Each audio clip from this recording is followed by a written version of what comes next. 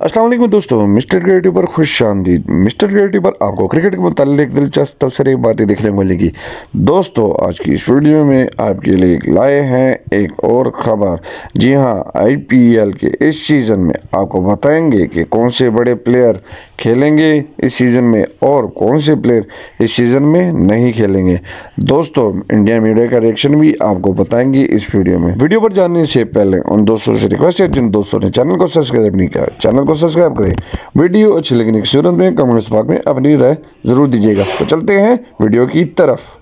IPL 22 मार्च से शुरू होने वाला है और बहुत सारे खिलाड़ी आपको इस आईपीएल सीज़न में नज़र नहीं आएँगे, खेलते नज़र नहीं आएँगे और उनमें से कुछ बड़े खिलाड़ी भी हैं। तो कौन कौन से खिलाड़ी जो हैं अनअवेलेबल हैं, कौन से खिलाड़ी इंजर्ड है, कौन से खिलाड़ी का कौन सा प्लेयर रिप्लेसमेंट के तौर पर आया है इस सीज़न में और कौन कौन से खिलाड़ी हैं जो हो सकता है आने वाले सीज़न में आपको कुछ मैचेस में खेलते नज़र नहीं आए? कुछ खिलाड़ी है जिनको अलग तरह की इंजरीज हैं, उन सबको लेकर हम इस वीडियो में आपको जानकारी देंगे। और सबसे पहले बात कर लेते हैं गुजरात टाइटंस की। जी हाँ गुजरात टाइटंस के प्रीमियम बॉलर मोहम्मद शमी आपको इस सीज़न खेलते नज़र नहीं आएँगे। आपको याद होगा कि पिछले सीज़न में हाईएस्ट विकेट टेकर थे। इसके बाद वर्ल्ड कप के दौरान भी शानदार प्रदर्शन किया था मोहम्मद शमी ने और उसके बाद उनको एक एंकल इंजरी हुई थी, जिसके कारण वो लंदन गए थे सर्जरी के लिए सर्जरी करके वो वापस इंडिया आ चुके हैं और बीसीसीआई ने एक ऑफिशियल प्रेस रिलीज़ द्वारा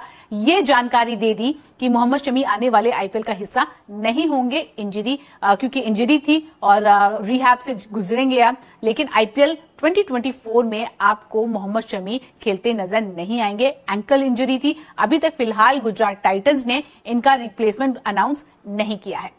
दूसरे खिलाड़ी जो कि गुजरात टाइटंस के हैं वो है मैथ्यू वेड हालाँकि इन्होंने पिछले सीज़न एक भी मैच नहीं खेला था सारा मैचेस हमने देखा था। रिद्धमान साहा आपको विकेट कीपिंग करते नज़र आए थे लेकिन ऐसा हो सकता है शेफील्ड शील्ड का फाइनल खेला जाना है आ, मार्च 21 से 25 तारीख तक और मैथ्यू वेड ऑस्ट्रेलिया ही रहेंगे। और हो सकता है आ, आने वाले जो पहले दो मैचेस होंगे जो कि मार्च 25 और मार्च 27 तारीख को खेले जाएँगे उनके लिए वो अवेलेबल नहीं होंगे। अब दूसरी टीम की अगर बात करें तो Lucknow super giant. Lucknow super giant में ऐसे खिलाड़ी हैं जिन्होंने अपने आप को अनअवेलेबल किया है इस टूर्नामेंट से और कारण था वर्कलोड मैनेजमेंट को लेकर। वो खिलाड़ी कौन है? वो खिलाड़ी है मार्क वुड मार्क वुड ने आ, 2024 आईपीएल से पुल आउट किया था वर्कलोड मैनेजमेंट के कारण। और आप इस सीज़न में देखेंगे बहुत सारे इंग्लैंड के खिलाड़ी हैं।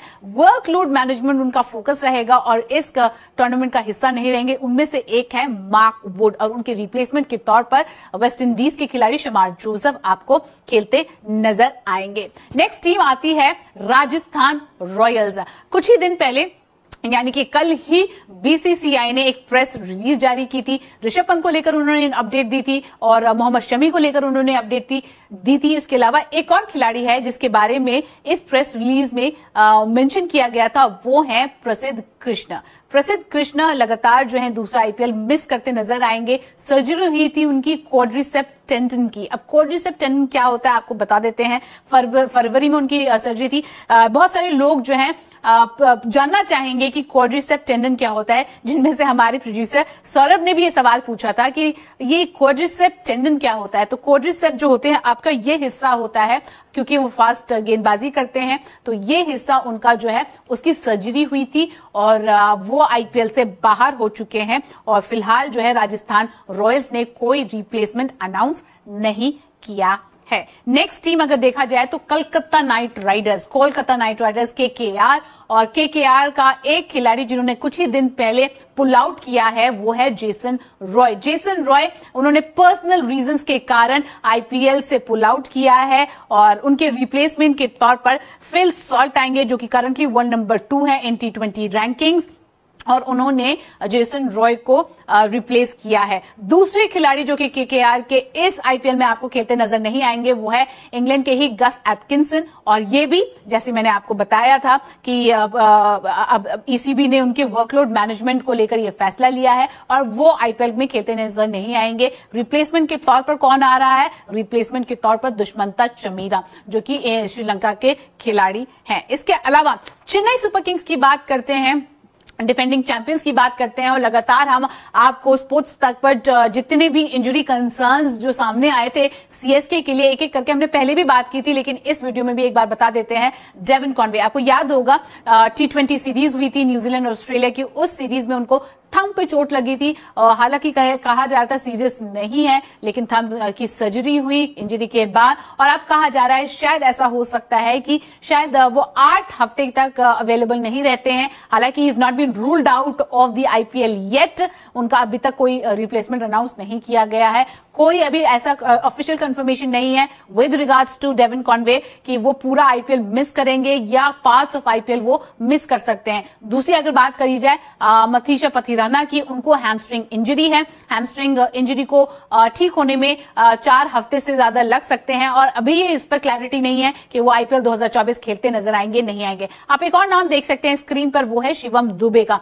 शिवम दुबे, आपको याद होगा, रणजी खेलते वक्त उनको चोट लगी थी, उनकी इंजरी को लेकर अभी तक अपडेट नहीं है और यही कारण है कि रणजी के आगे के मैचेस वो नहीं खेल पाए थे। तो चेन्नई सुपर किंग्स की ये मुश्किल बढ़ती नज़र आ रही है।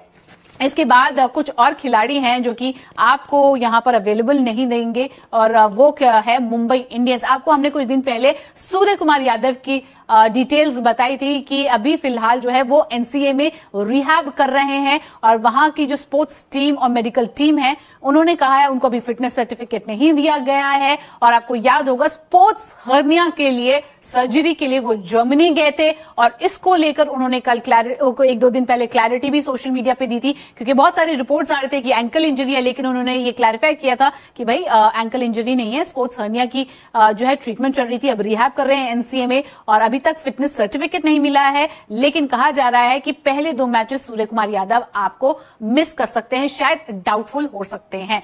इसके बाद आरसीबी की बात करते हैं। जी हाँ आरसीबी में से कौन सा ऐसा खिलाड़ी है जो शायद शुरू के मैचेस मिस कर सकता है? आपको याद होगा, इंडिया इंग्लैंड सीरीज़ के दौरान जो है रजत पाटीदार जो है, लास्ट मैच नहीं खेल पाए थे और देवदार पडिकल ने डेब्यू किया था। इंजरी के कारण कहा जा रहा था अब किस तरह की इंजरी है, कितनी सवियरिटी है इंजरी की? ये अभी अपडेट नहीं आई है और क्या आईपीएल में शुरू में खेलते नज़र आएँगे, नहीं आएँगे, कितने मैचेस वो मिस करेंगे, उस पर अभी तक फ़िलहाल कोई अपडेट नहीं है। तो ये वीडियो हमने आपको बता दी है कि कौन कौन से खिलाड़ी, देखिए, आपको एंकल इंजरी थी रचत पटीदार को और he might miss first couple of games for RCB in the upcoming IPL 2024 season तो इस वीडियो में हमने आपको बताया बहुत सारे खिलाड़ी जो कि आने वाले आईपीएल सीज़न में अवेलेबल नहीं रहेंगे। कुछ इंजर्ड है कुछ अपने पर्सनल रीजंस के कारण अवेलेबल नहीं रहेंगे। कुछ खिलाड़ियों ने पुल आउट किया है वर्कलोड मैनेजमेंट के कारण। तो वो सारी लिस्ट हमने बताई और बहुत सारे खिलाड़ियों की रिप्लेसमेंट्स भी आई हैं।